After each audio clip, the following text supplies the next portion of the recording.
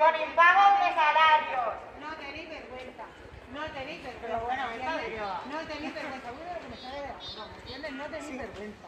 La mayoría de las trabajadoras y trabajadores no realizan su trabajo en una tiene lamentable, Eso realizando jornadas hasta 60 horas semanales, con impagos de salario, de horas extras. ¿Me entiendes?